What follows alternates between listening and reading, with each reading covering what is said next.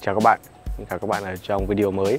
Ở video này mình chia sẻ với các bạn cách để chúng ta có thể chụp ảnh phơi sáng với một nguồn sáng nhân tạo. Chúng ta có thể kiểm soát được, đó là bùi nhồi thép. Với cách chụp này, chúng ta có thể tạo ra rất nhiều hướng đẹp và không cần quá tốn kém. Chỉ cần chúng ta nắm được kỹ thuật Và để chuẩn bị cho một buổi chụp, chúng ta cần có những gì? Điều đầu tiên là chúng ta phải có bùi nhùi thép rồi. Cái này thì ờ, các bạn có thể mua ở bất cứ nơi nào cũng khá là dễ mua và chúng ta cũng không cần bảo quản gì kỹ lắm và các bạn có thể sử dụng trong thời gian dài được. Những thứ chuẩn bị tiếp theo đó là những cây đánh trứng này. Các bạn có thể thấy ở đây đây là hai cây đánh trứng nha. Chúng ta có thể tạo nhiều hiệu ứng với cây đánh trứng này được. Với cây đánh trứng này thì chúng ta sẽ bỏ bùn nhùi thép vào trong. Các bạn có thể tự làm hoặc có thể mua, miễn là các bạn có thể giữ được bùn nhùi thép ở trong đây và chúng ta có thể chụp được. Một điểm lưu ý, khi chúng ta chụp ảnh với bùi nhùi thép thì chúng ta cần tránh xa những nơi có các vật dụng có thể bắt lửa và chúng ta kiếm những chỗ vắng người một chút. Về máy móc thì chúng ta cần chuẩn bị những gì? Máy móc thì chắc chắn là chúng ta phải cần một tripod như thế này để chúng ta chụp trong đêm được tốt hơn. Tripod thì các bạn có thể dùng loại nào cũng được, miễn là máy của bạn có thể cố định ở trên đó và không bị rung. Chúng ta có thể dùng nhiều biện pháp khác để thay cho tripod, ví dụ như những bề mặt cứng, vững các bạn có thể thay thế mà không cần tốn kém và mua tripod nữa. Tripod có lợi thế là chúng ta có thể điều chỉnh góc chụp được tốt hơn và nhanh hơn, rất là thuận tiện. Để chúng ta có thể tự chụp được mà không cần nhờ đến người khác, tất nhiên là các bạn nên có một chiếc remote như thế này, giúp chúng ta có thể chủ động hơn trong quá trình chụp. Nếu như bạn nào không có, thì có thể sử dụng chế độ chụp hẹn giờ, như vậy cũng khá là ok. Về ống kính và máy thì chúng ta có thể chụp với bất kỳ máy nào, kể cả điện thoại có khả năng hẹn giờ và chụp phơi sáng lâu hơn bình thường ở đây thì mình sẽ sử dụng một chiếc Nikon D7001 và chiếc Sigma 1750 các bạn có thể thấy chiếc Sigma 1750 ở trên tay mình đây. Mình sẽ chụp thử bằng chiếc ống kính này và gửi ảnh lại để các bạn xem chất lượng ảnh như thế nào nhé. Có một điểm lưu ý là khi chúng ta chụp ảnh với bùi thép, chúng ta cần mang theo đồ bảo hộ nha các bạn. Nếu như các bạn không mang theo thì các bạn có thể bị bỏng đó. Vậy thì à, chúng ta cần những gì? Trước tiên là chúng ta cần một chiếc nón. Chiếc nón này có thể là chiếc nón bình thường hoặc là chiếc nón có thể phát sáng được để các bạn có thể sử dụng trong ban đêm và chụp được thuận lợi hơn. Áo khoác thì um, các bạn sẽ mang những chiếc áo khoác bình thường thôi đừng mang những chiếc áo khoác tốt quá. Những chiếc áo khoác tốt thì um, nó bị cháy trong quá trình chụp thì rất là đáng tiếc và lãng phí. Ở đây mình sử dụng chiếc áo khoác cũ rồi và nó cũng khá là rẻ thôi. Với những chiếc áo như này chúng ta chụp thì nó có hư hại gì thì chúng ta cũng đỡ tốn kém. Thì um, bụi nhựa thép sẽ rơi vào đây này chính đây. Nếu bạn nào mà muốn bảo hộ tốt hơn thì có thể mang theo bao tay đi nhé mang theo găng tay lên và đeo theo kính mắt, nhưng mà mình không có sử dụng hai cái đó. Ok, như vậy đồ bảo hộ tương đối là đủ. Bây giờ chúng ta tới phần à, setup máy ra làm sao và lấy nét như thế nào nha các bạn, và các thông số liên quan để chúng ta có thể chụp được. Ok, bây giờ về máy thì ở đây mình đang sử dụng chiếc ống kính là Sigma 1750 để giúp chúng ta có thể chụp được tốt hơn và thuận lợi hơn trong quá trình sử dụng. Vì có tiêu cự có thể thay đổi được. Các bạn có thể nhìn thấy tiêu cự thay đổi được như thế này thì giúp chúng ta chụp thuận lợi hơn và có thể bố cục tốt hơn. Để chụp tốt thì um, chúng ta nên sử dụng hút nha các bạn, để tránh những nguồn sáng không mong muốn đi vào ống kính. Nếu như bạn đã gắn ở trên tripod rồi thì các bạn nên tắt chống rung đi để có chất lượng ảnh tốt nhất tắt chống lùng thì có thể đem lại những bức ảnh sắc nét và hạn chế hư bộ chống lùng của ống kính. Tiếp đến là về chế độ nền nét thì chúng ta làm sao? Chế độ nền nét thì các bạn có thể nền nét tự động hay nền nét tay đều được. Nếu như các bạn chụp với cảnh đủ sáng và máy của bạn có thể nền nét tốt thì các bạn có thể nền nét tự động. Nếu như bạn chụp ở trong môi trường tối hơn và có ánh sáng thấp hơn thì chúng ta nên nền nét tay và chúng ta cố định điểm nét lại và chúng ta có thể chụp nhiều bức mà không cần nén nét lại nữa. Ok, bây giờ về cài đặt trên máy thì chúng ta cần làm những gì? Điều chắc chắn chúng ta cần làm đó là xét các thông số giống như chúng ta chụp ảnh phơi sáng bình thường thôi. Như các bạn thấy đây, chúng ta đang có chụp với mod A và tốc độ là 1 phần ngày 1000 giây f2.8 ISO 100 này. Để chụp được tốt thì um, mình sẽ chuyển qua chế độ chụp là mod M như các bạn. Ở mod M chúng ta sẽ chụp với khẩu độ thứ 8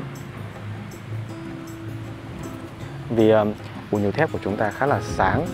Chúng ta có thể chụp từ F8 tới F11 hoàn toàn ok. Thời gian phơi sáng.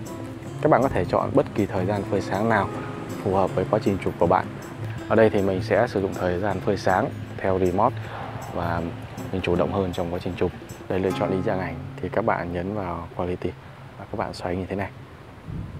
Khi nào qua RAW và JPEG thì thôi mình lựa chọn như thế này là RAW ở khe 1 và JPEG ở khe 2 phần ISO thì các bạn nên lựa chọn ISO thấp nhất có thể, như máy của mình ở đây là ISO 100 và chọn picture style. Các bạn chọn picture style đây nhé. Chúng ta chọn qua landscape hoặc là vivid chúng ta có chất lượng ảnh được tốt hơn. Ở đây thì mình chọn landscape nha các bạn.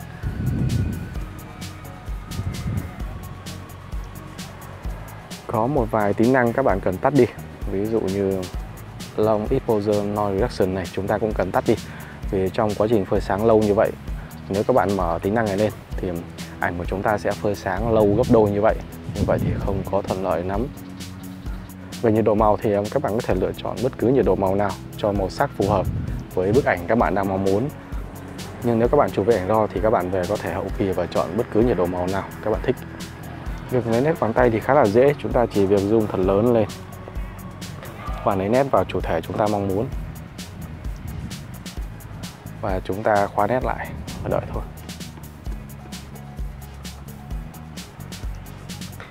Nếu mọi việc đã xong rồi thì chúng ta cứ để máy như vậy, chúng ta chờ trời tối xuống. Bây giờ chúng ta sẽ chuẩn bị và bắt đầu chụp nhé. Trời thì bây giờ đã khá là tối rồi. Mình đã tăng ISO lên, các bạn nhìn thấy sáng vậy thôi, chứ ngoài trời cũng tối lắm rồi đó ở đây là bùi nhồi thép này. Mình đã dồn xong rồi. Uhm, các bạn nhớ nếu các bạn chụp thì các bạn nhớ mang nón nha. Và sử dụng chiếc áo như thế này. Chúng ta che lên để tránh những cái xỉ nó rơi vào trong người chúng ta. Chúng ta có thể bị phỏng đó. Nếu các bạn có chiếc nón như thế này thì tốt để các bạn có thể dễ thấy đường đi hơn ở trong lúc trời tối. Bạn thấy chiếc nón không? Khá là tiện lợi để chúng ta có thể nhìn thấy máy này chiếc máy thì mình đặt ở đây nha các bạn. Mình chụp góc xa các bạn nhìn sang bên kia kìa. Kia là chiếc um, máy xúc ở góc đó. Mình sẽ lấy chiếc máy xúc đó làm nền nha các bạn. Chúng ta chọn được nền nào thì chúng ta chụp nền đó thôi. Còn những nền đẹp hơn thì chúng ta phải đi xa. Nếu các bạn chọn được nền đẹp hơn thì các bạn cứ việc chụp. Như vậy thì ảnh của bạn sẽ đẹp hơn. Sau khi chúng ta đã lựa chọn được địa điểm chúng ta đã set up máy xong rồi. Thời điểm đã tới, chúng ta chỉ cần mở chế độ chụp bằng remote lên thôi và chúng ta chụp. Thời gian phơi sáng thì tùy ý. Các bạn muốn lấy nhiều cảnh thì các bạn à, phơi sáng lâu. Nếu các bạn muốn lấy ít cảnh, độ sáng của cảnh thấp hơn thì các bạn phơi sáng ít hơn. Nếu như địa điểm hay là nền chưa đẹp lắm thì chúng ta có thể chọn nền khác để chụp với những hiệu ứng khác nhau và đẹp hơn. Bây giờ mình sẽ đi qua một số vị trí mình đã chụp để các bạn cùng xem sau đó chúng ta sẽ tới phần hậu kỳ ảnh. Mình sẽ hướng dẫn chi tiết để các bạn có thể nắm được.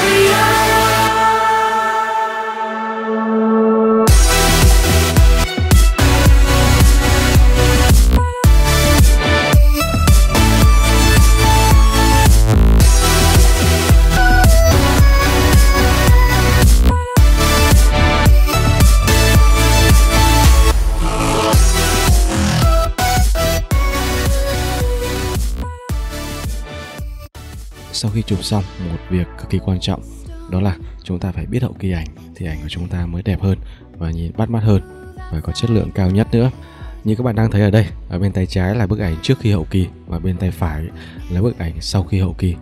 Các bạn nhìn thấy bức ảnh có độ trong và nhìn bắt mắt hơn khá là nhiều. Bây giờ mình sẽ reset bức hình này và mình hậu kỳ lại để các bạn cùng xem nhé. Như các bạn thấy ở đây, đây là bức hình à, chúng ta chưa hậu kỳ gì cả. Ở trong Lightroom thì mình hay sử dụng ngược một chút so với bên hãng khuyến cáo. Mình hay chọn profile màu trước. Ví dụ như bạn chụp phong cảnh thì các bạn hãy chọn là landscape hoặc là vivid này, nhìn cho nó bắt mắt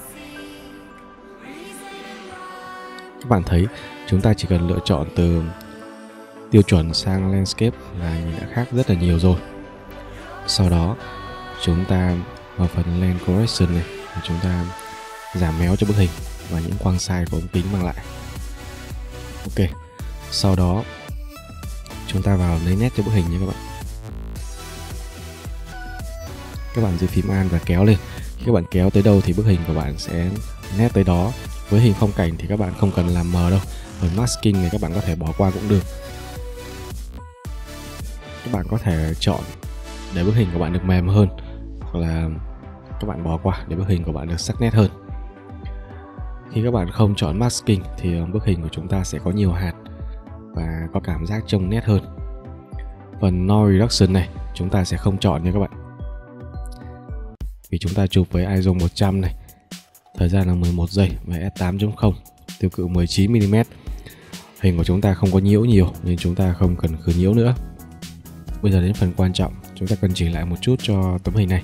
Lúc trước thì mình đã chọn qua ba lăng hơi bị sai mình chọn 3850 nhưng đưa vào Lightroom lại bị sai thêm một chút nữa. Và mình thấy màu vàng này chưa được hấp dẫn lắm.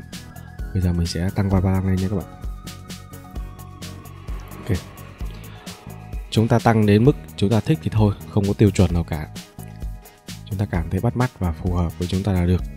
Sau khi chúng ta lựa chọn được qua ba lăng xong rồi, thì bây giờ chúng ta sẽ tinh chỉnh một vài thông số ở đây, như phần highlight, shadow, white và black phần này thì trong hình phơi sáng cũng không cần khó khăn lắm. Chúng ta tăng tới mức chúng ta thích là được. Nếu các bạn à, không biết về điểm đen, điểm trắng thì các bạn có thể đánh dấu vào đây. Các bạn không nên để quá nhiều điểm đen xuất hiện trong hình hình của chúng ta sẽ bị bết. Điểm trắng cũng tương tự như vậy. Trong bức hình này thì à, không có điểm trắng. Nếu chúng ta cố tình tăng điểm trắng lên thì hình của chúng ta sẽ bị cháy ở cái vùng này. Nếu chúng ta muốn hiện phần shadow lên thì à, cứ tăng lên thôi. Để chúng ta thấy rõ phần chiếc xe trong này.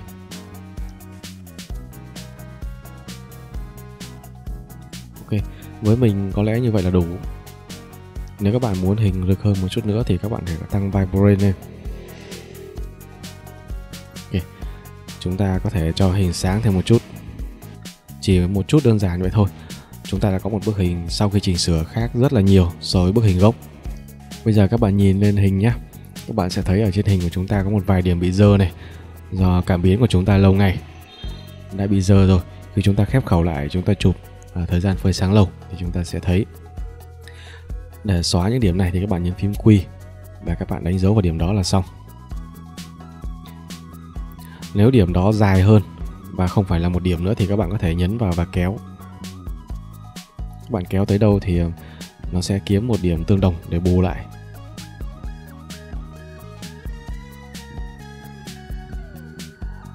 Lightroom xử lý phần này khá là lâu và không hiệu quả bằng Photoshop. Sau khi xong hết rồi thì chúng ta crop lại hình cho vừa ý thôi. Ví dụ như ở đây chúng ta muốn sử dụng theo hình theo dạng 16:9 này, chúng ta crop 16:9 thôi. Khá là đẹp phải không bạn? Thì chúng ta chụp một series hình giống nhau và trong một thời điểm khá là giống nhau thì ờ, chúng ta có thể chọn xin bức hình đầu này cho tất cả các bức hình tiếp theo. Chúng ta chỉ cần chọn bức hình đầu, sau đó chúng ta nhấn phím control sau đó chúng ta chọn xin. Nếu các bạn muốn xin cả phần land correction này thì các bạn đánh dấu vào. Các bạn muốn xin phần nào thì các bạn đánh dấu vào phần đó. Ok, như vậy là xong rồi.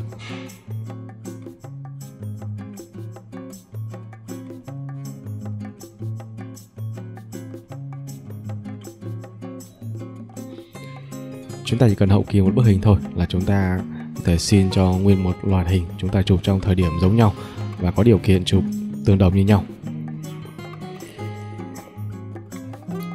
Ví dụ như các bạn chụp tất cả những tấm hình này trong cùng một địa điểm và thời điểm giống nhau. Những tấm hình này cũng vậy, nhưng mà nó hướng khác mà các bạn xin thì không được đâu nhé. Nó sẽ sai và gây hư bức hình này đó. Ok, như vậy là mình đã chia sẻ xong với các bạn cách chụp hình với bùi nhùi thép và cách hậu kỳ những bức hình này để trông được bắt mắt hơn và có chất lượng tốt hơn cảm ơn các bạn đã theo dõi video. Nếu có phần nào góp ý thì các bạn cứ để lại lời nhắn ở phía dưới. Mình sẽ ghi nhận và khắc phục ở lần sau. Cảm ơn các bạn. Nếu các bạn nào có gặp khó khăn gì về quá trình chụp thì cũng để lại lời nhắn luôn nha. Hẹn gặp lại các bạn ở trong video sau.